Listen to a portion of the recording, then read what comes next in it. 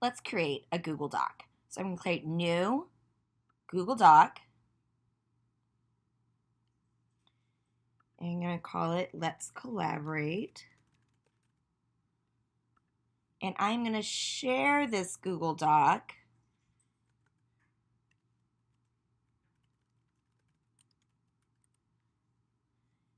send.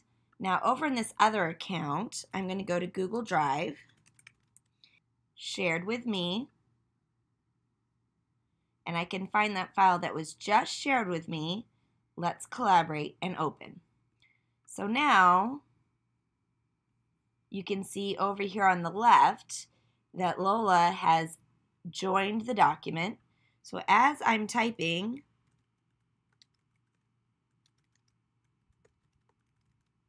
you can see that over here on the right that it is adding the same words in real time.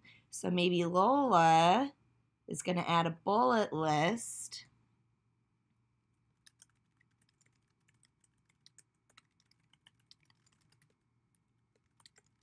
So over here in this account, we can see Lola typing. And then when Krista jumps in to type,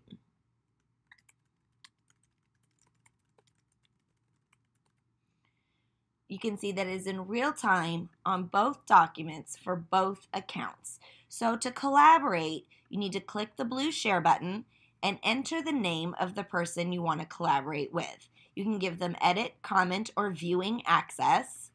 And then if you've shared it with them, they'll be able to find it under shared with me in their Google Drive, or you can simply copy the link at the top of the document and send that link via chat or email to help them to access the document quickly.